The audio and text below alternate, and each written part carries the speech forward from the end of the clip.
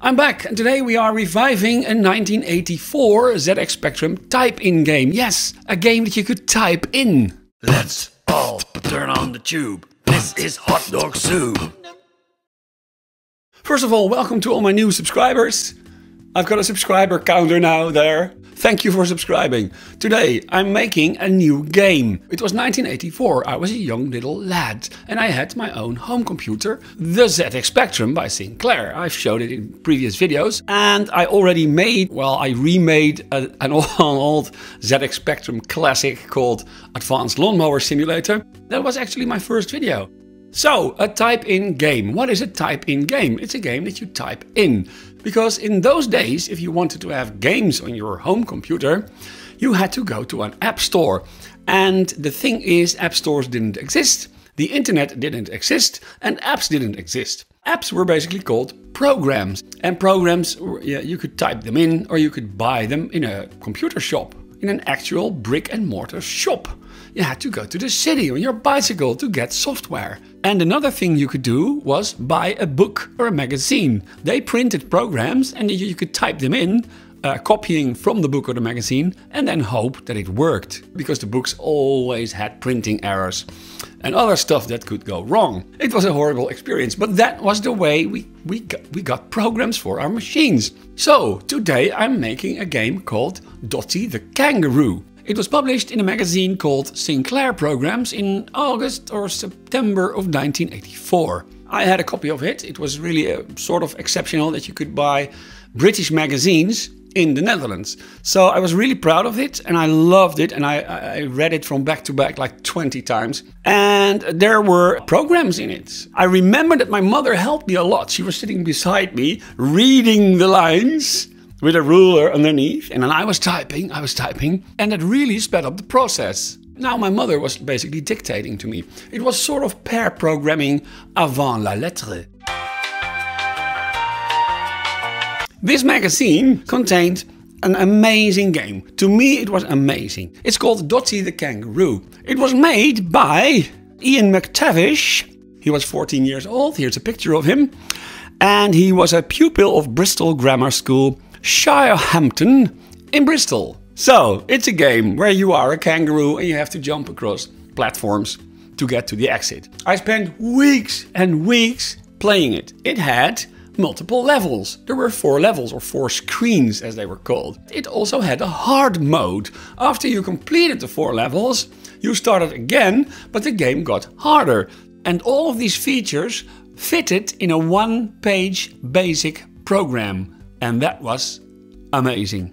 And I loved it so much. I loved it so much. And, and it was actually fun and cool to play. Today I'm recreating this game, putting it on the App Store so everybody can now download it and play it 35 or 40 years after it was published.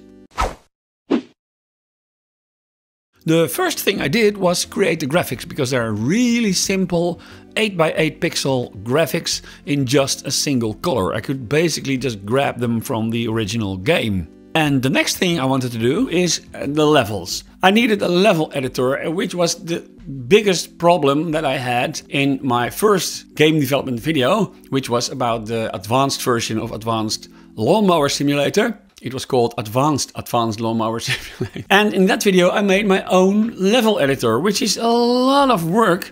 It's a ridiculous amount of work and it never is as good as standardized other level editors that already exist. And that was a big mistake because I wasted all my time on the level editor.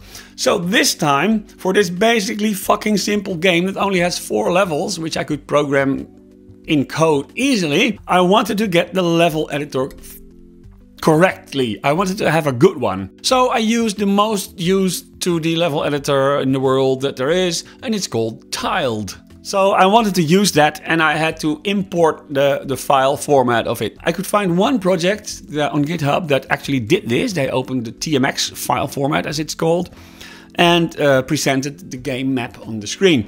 But I didn't really like it because it was kind of slow and it hogged memory. If you loaded a map with nothing in it, just an empty map file, it already used 100 megs of RAM. Why? Why? If I load a map with nothing, I want the memory to be practically nothing.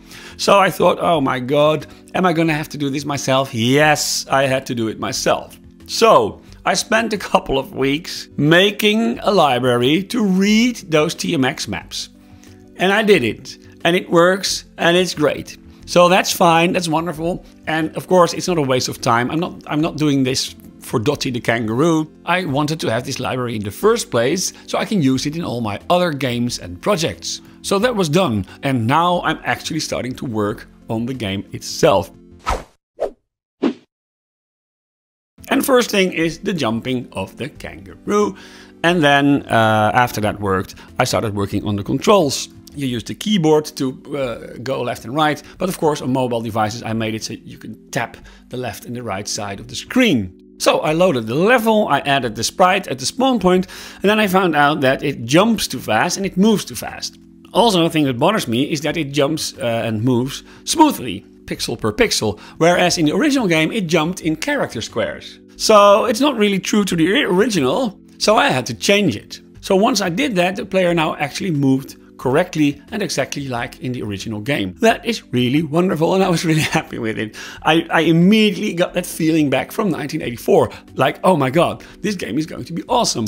Because in those days, when you typed in a typing game, you sometimes stopped halfway through and then ran it to see if it already worked or, or, or if you already saw something. Uh, that was the whole fun of it.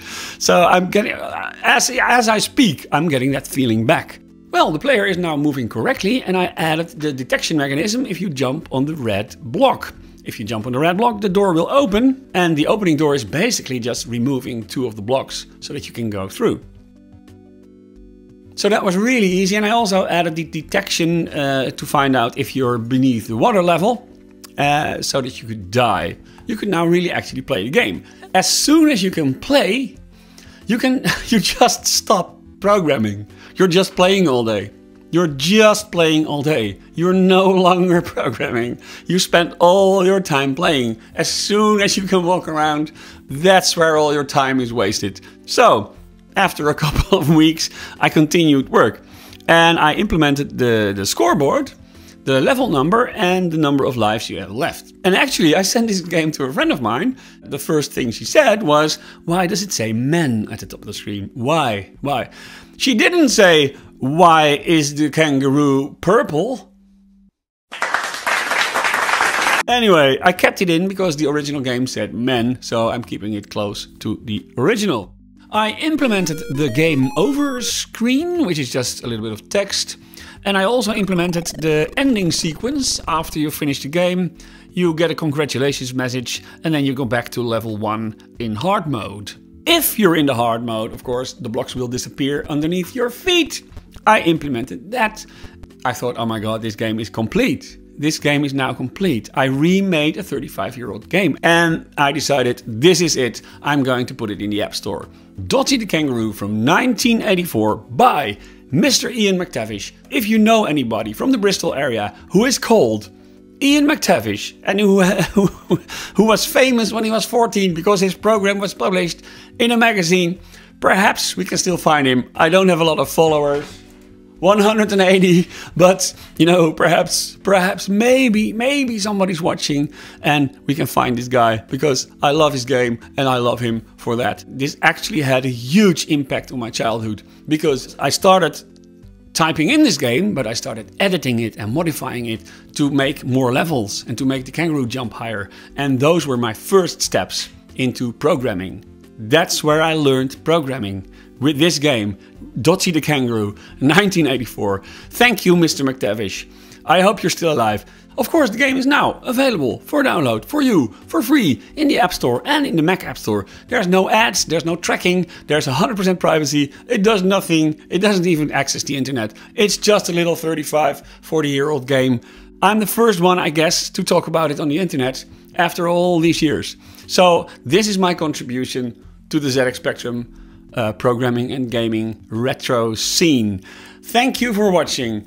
I hope you enjoyed it. I certainly uh, enjoyed it. I actually smiled for real and I loved it and I, I was really excited. So if you enjoyed it too, please leave a like, a comment, a subscribe perhaps. 180. I'm really, I'm so happy with 180. It's just, uh, it's just, can I get to two? Yes, I think I can get to 200. Anywho, thanks again for watching and I'll see you next time. And download, download Dotty the Kangaroo.